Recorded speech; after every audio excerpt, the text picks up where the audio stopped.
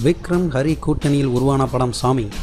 நெல்லையை கதைக்களமாக கொண்டு உருவான இந்த படத்தில் ஆறுச்சாமி என்கிற அதிரடி போலீஸாக நடித்திருந்தார் விக்ரம். நாயகியாக த்ரிஷா நடித்தார். அப்படம் சூப்பர் ஹிட் ஆனதால் இப்போது அப்படத்தின் இரண்டாம் பாகத்தை எடுக்க தயாராகி கொண்டிருக்கிறார் டைரக்டர் ஹரி. இந்த படத்தின் படப்பிடிப்பு ஜூன் மாதம் நடக்க இருப்பதாக செய்திகள் வெளியாகியுள்ளன. மேலும் சாமி படத்தில் நடித்த த்ரிஷா இரண்டாம் பாகத்திலும் நடிப்பதாக கடந்த சில மாதங்களாகவே தகவல் பரவிக்கொண்டிருந்தன ஆனால் இப்போது அது குறித்து விசாரித்தால் சாமி படத்தில் விக்ரம் த்ரிஷாவுக்கு திருமணமாகிவிட்டதால் இந்த பாகத்தில் த்ரிஷா கேரக்டருக்கு வேலையே இல்லையாம்.